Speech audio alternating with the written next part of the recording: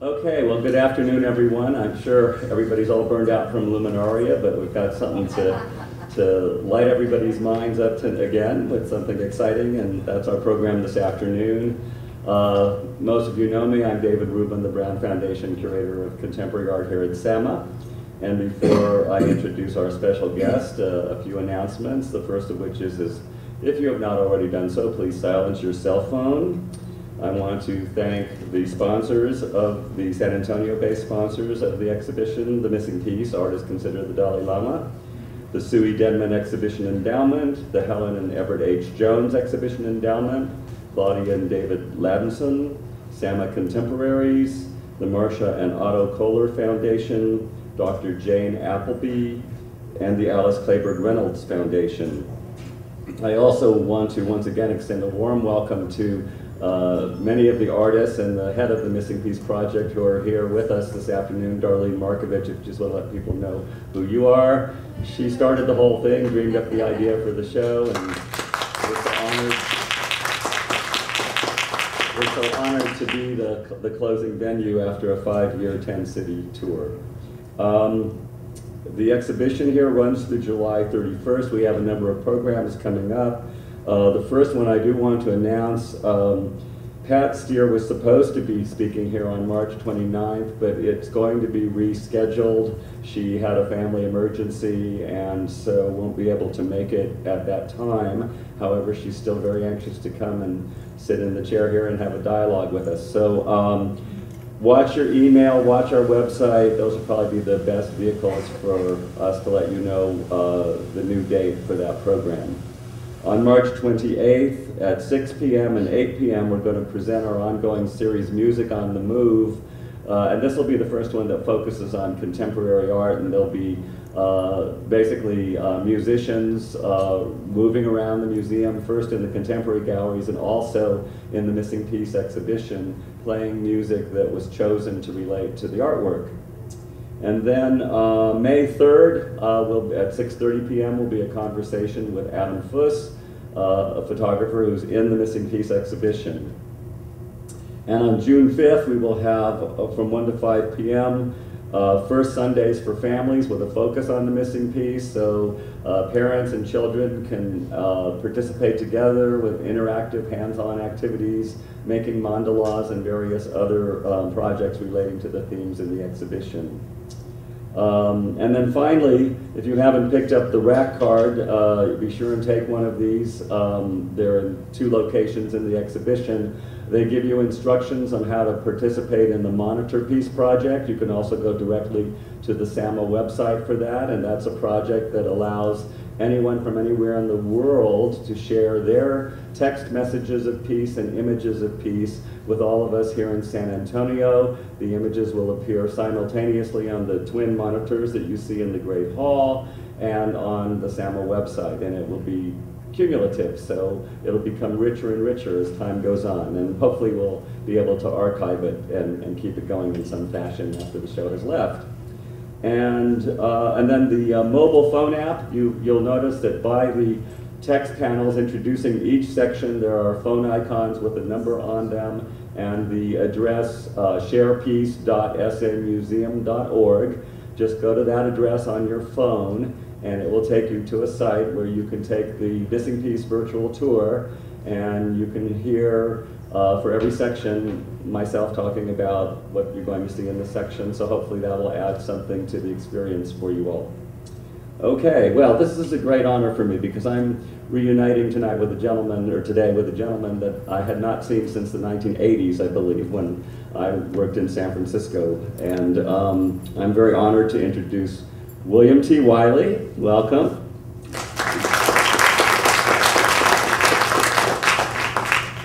And what we're going to do is kind of take a little walk through uh, Bill Wiley's life and art, and we're going to we're going to start with where it all began in Bedford, Indiana, and uh, ask you to talk a little bit about your childhood days and your origins.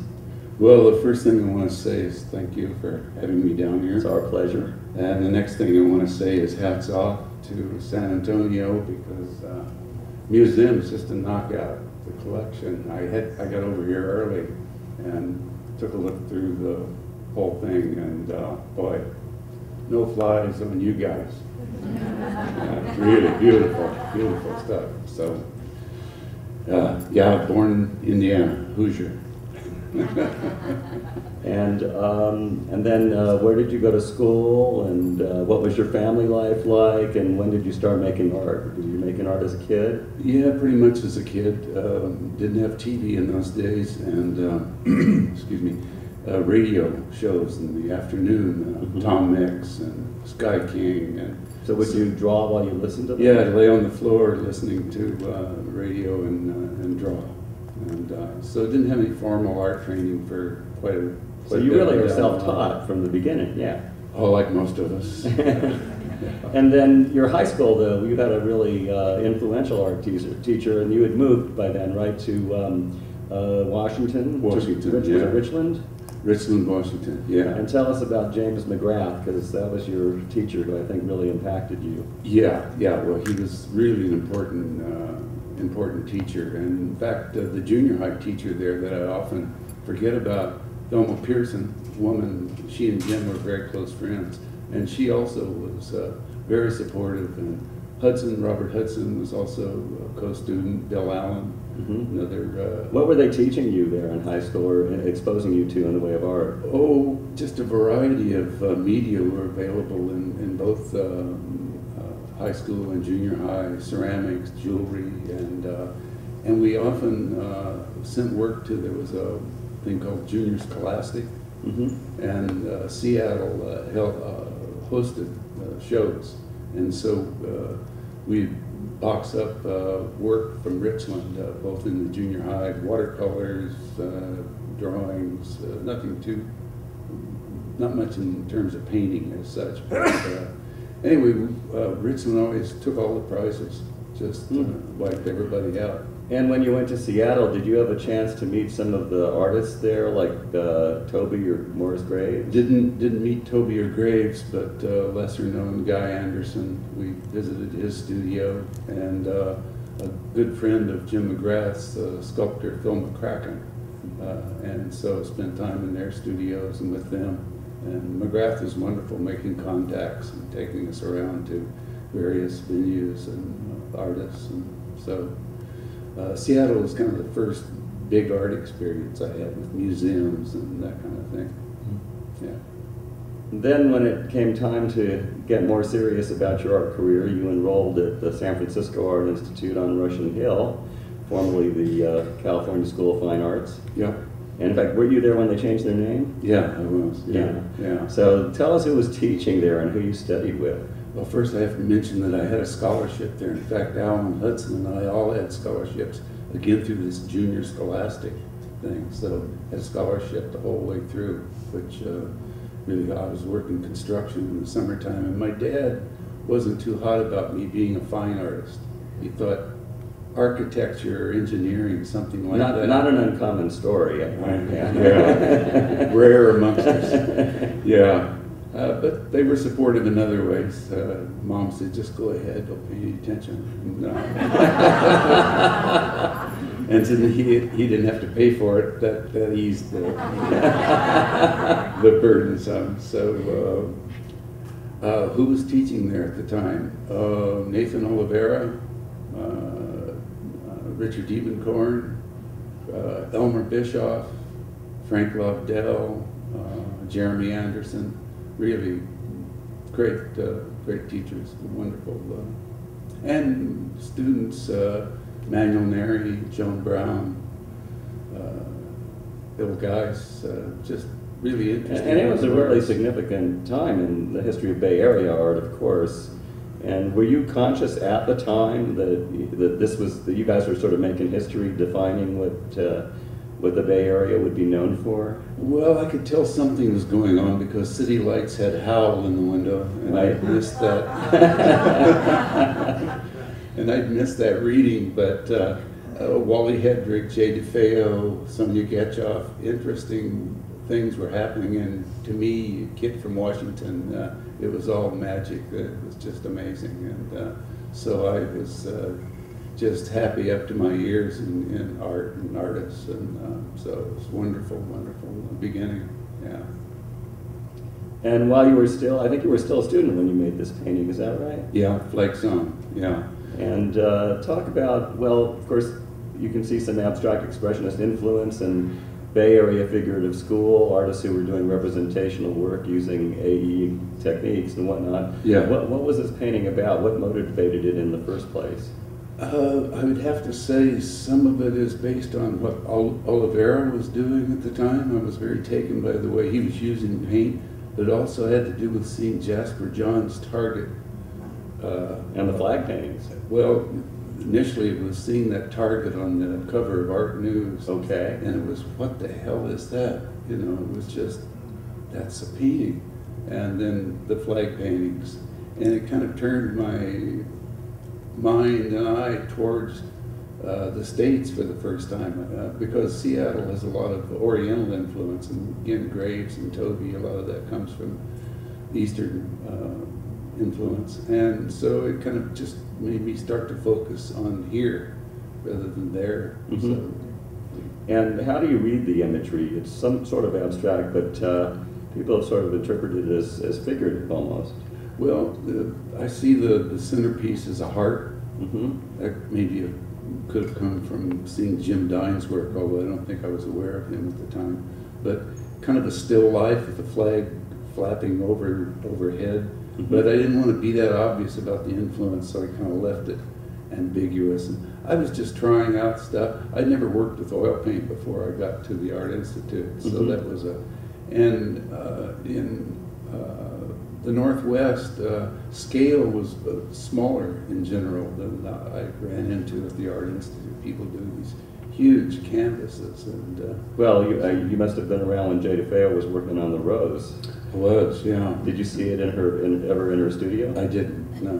uh, You've seen the movie, I imagine, where they had to move it out of there. Yeah, Yeah. yeah, and I remember hearing about it and uh, Yeah. thing. And uh, Wally Hedrick, who was her partner at the time, Right. was uh, teaching at the school, and uh, so there was awareness uh, in a loose way about that, but uh, Mhm. no particular uh, direct contact. Yeah. Mhm. And then, uh, now let's see, this is about the time you graduated, I guess. Yeah, I was, I was a graduate student at the time. Okay, and um, this is uh, from a series about Columbus, which kind of means a couple of things to you. You want to tell us about it? Uh, actually, the, the first one was a similar painting uh, called Columbus Rerouted Number One, and it was a diptych. Uh, I was living in uh, Marin at the time, and uh, so I had to break it into two kind of six foot sections. And again, it was uh, kind of turning my attention to here rather than there. I think another thing in Richland, McGrath made us very aware of uh, the indigenous people. He brought uh, Chief Wilson Charlie and his wife to uh, high school uh, to tell us about the Broken Indian treaties. And uh, I was there when Celilo Falls, where the Indians traditionally caught salmon, when that was uh, covered up by a dam.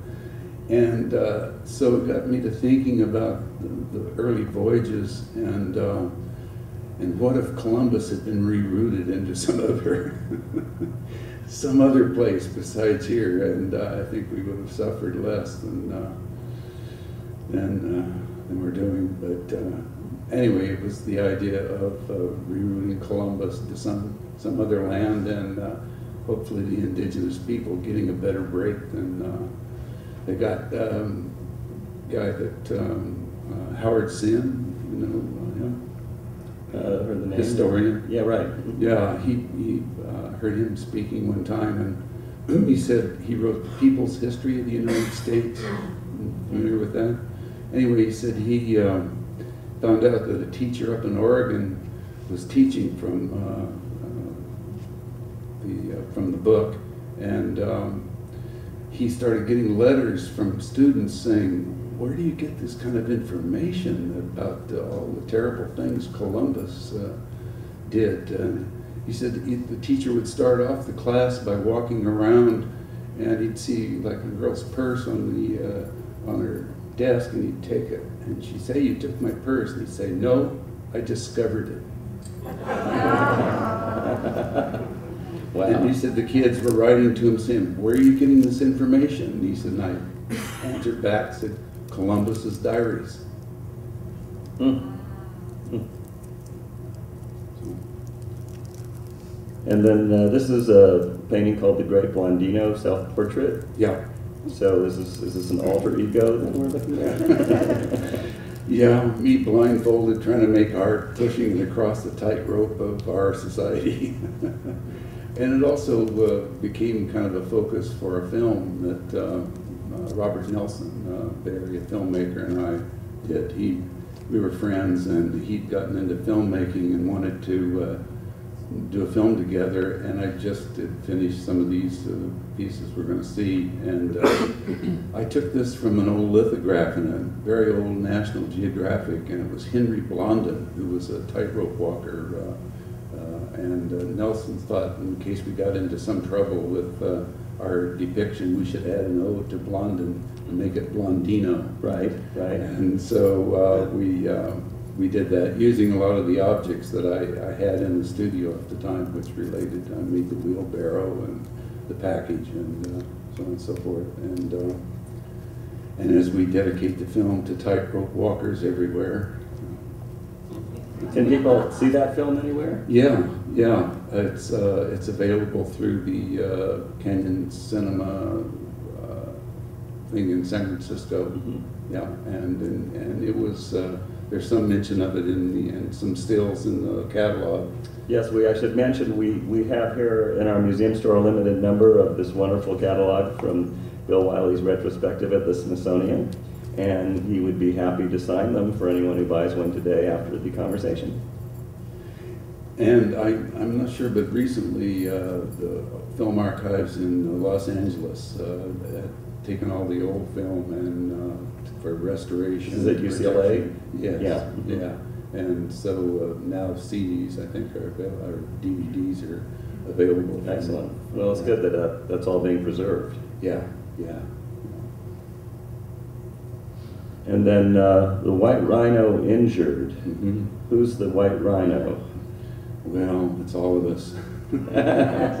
If, uh, down in the corner of the Blondino painting, there, there's, there's a rhino there, uh, kind of down in the grass, and, uh, Is that in the lower, lower right hand there? Yeah. Yeah, okay. Right there. Okay. And uh, so it was when they were starting to uh, slaughter uh, rhinos for their uh, aphrodisiac horn. Hmm.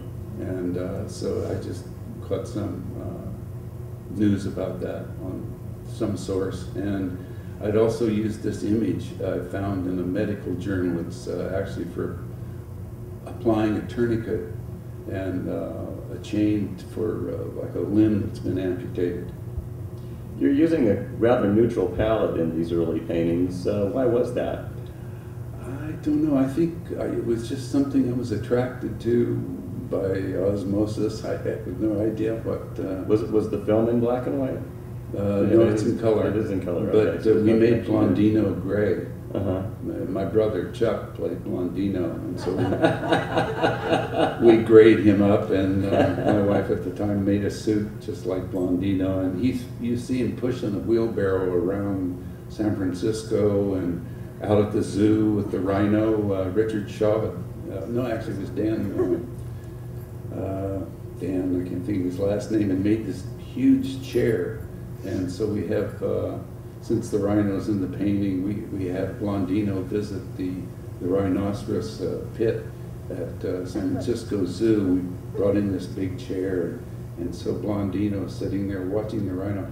Rhino got very upset, starts pacing back and forth and pacing back and forth. You see the film, you'll see Nelson did some interesting things with his feet at the time. And uh, just as we finished filming, somebody alerted the zoo folks, and the guard came running up and says, "What are you doing here? And what what's that big chair for?" And that beast is very upset, and that's a 14 foot pit, and he can lift 15 feet, so you better get out of here. so we picked up the chair and Blondino, and off we went. Yeah.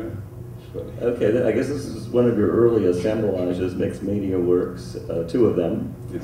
Can you tell us uh, what the materials are and what they're about? Well, the one on the left is uh, two questions preserved in olive oil and distilled vinegar. And uh,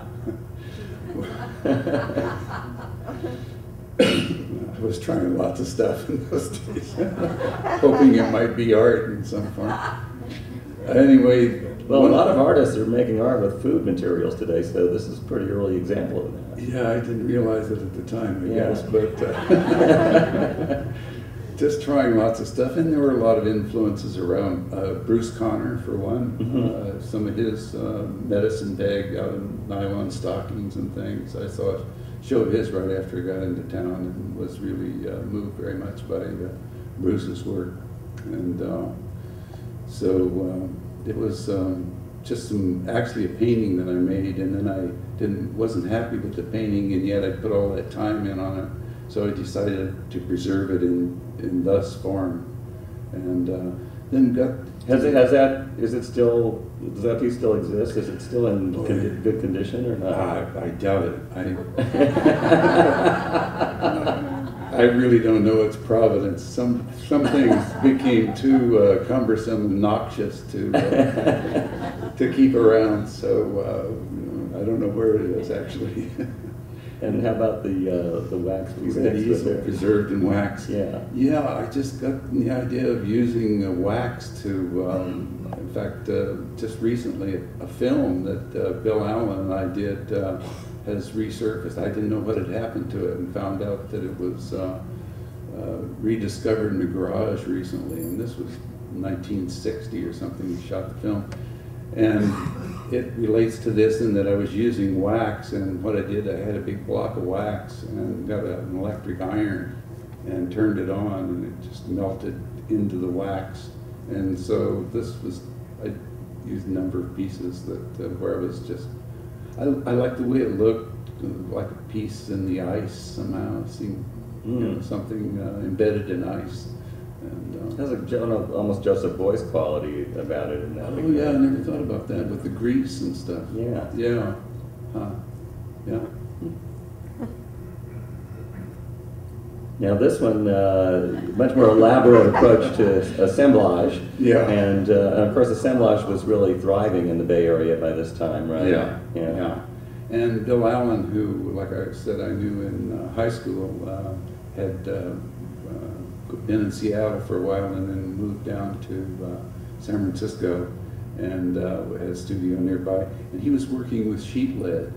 And so I thought, oh, I'd like to work with that. So this was a piece, basically the back, the Enigma doggy who's puking on the floor there. Uh, he's uh, in sheet lead and uh, acrylic over the top. And uh, the thing on front was a, a construction piece of painting, basically, that I did and didn't like and kind of crunched it and added it. You know, trying to recycle So, everything. As you say, you were recycling too, which artists do a lot now, and it's a Right. good early example of that. So Yeah. Pioneered more things than you realized. Desperation. Now, there's a great story about the slant step, and uh, the work has text on it, so I printed out the text for you so you can read what's inscribed on the slant step. But the slant, that's a name you came up with, right?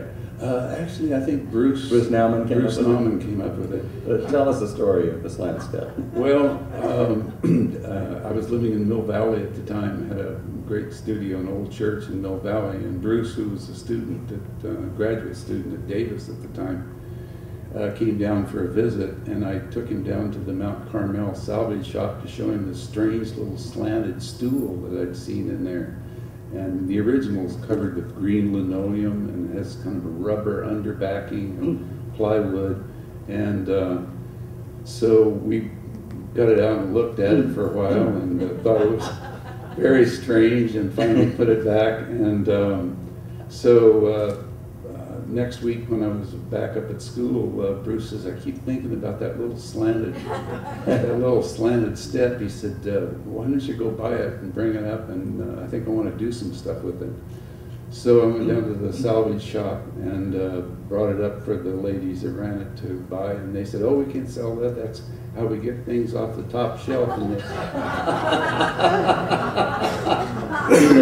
no, that, that doesn't work. It slide right off of it. And uh, so uh, I said, well, how much do you want for it? And they said, mm, 50 cents. Okay. so I took it up to Bruce and he did a modern version.